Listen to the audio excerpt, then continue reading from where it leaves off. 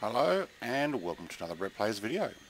This one's going to be something different. So I'm testing the uh, F4 Phantom 2 on the aircraft carrier MSFS1 which was a free download. Um, I have done a video on this before with the S3 taking off and landing but I'm going to be using the catapult and arrestor hook. So let's get this thing started up. So I have downloaded and installed the Cloud Assist. Here we go.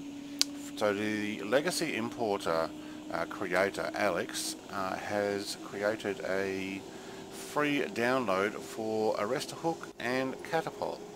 So I'm going to take the Catapult and what we might do is we might actually park ourselves over on this uh, launch. We can do it from we can do it from anywhere.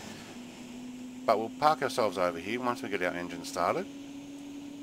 And we'll get this awesome model uh, taking off and landing. So this is the uh, McDonnell Douglas F4 Phantom. It is an FSX uh, import.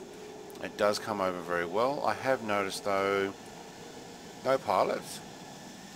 Uh, the lighting system when it lights up I do notice that the afterburners or the flame is lit up with just lights instead of the normal flame. So that actually has not come over and there are no pilots as you can see. So inside haven't got all the uh, gauges that have come over. So there must have been uh, either dependent no there wouldn't be dependents otherwise would have them. So there must be customs that didn't like coming over which is a bit of a shame but we may be able to work that out later what is the deal. So let's just taxi forward here. So this aircraft carrier is a free download as well. Uh, there's another one just over there which I think is the Russian. So this is parked off the UK. Uh, down the south. I will put a link in the description for this um, aircraft carrier download pack as well think it comes from flightsim.to is where I got it from. So what we do is we'll just park ourselves We can go a little further. Wouldn't actually take off here, would knock the uh, E2 off the uh, um, flight deck if that were the case. Okay, so I have flaps down uh, one notch. Uh, I've got my park brake on, so what we do is we go ready to launch it pops up the tip uh, disengage park brake to launch but I don't want to do that without throttle so I will throttle up. Oh hang on. Talk to me thank you. And then we release the park brake.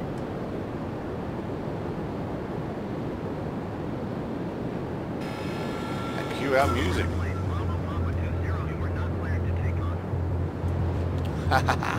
not clear to take off. I was not asking for permission.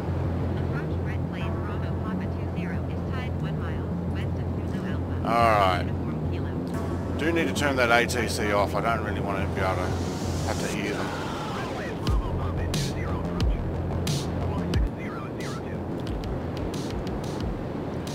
Alright. Bit of appropriate music for uh, flying, why not? Now I'm going to leave my gear down because what I want to show you, whoop, let's turn that, here we go. Arrestor hook, extract. Down it comes, thank you, nice and quick.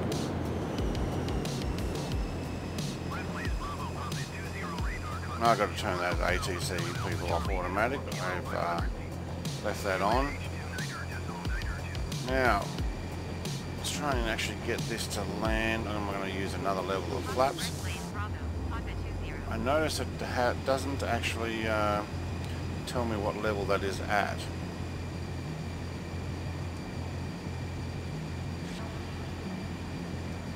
It would be nice to uh, probably set up that uh, cloud assist with some automatic buttons on the keyboard too.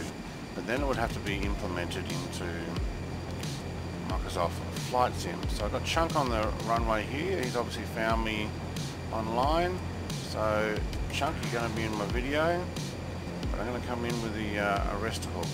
Try and do my best. I think 80 something meters is my best so far. Might actually be able to line this one up too.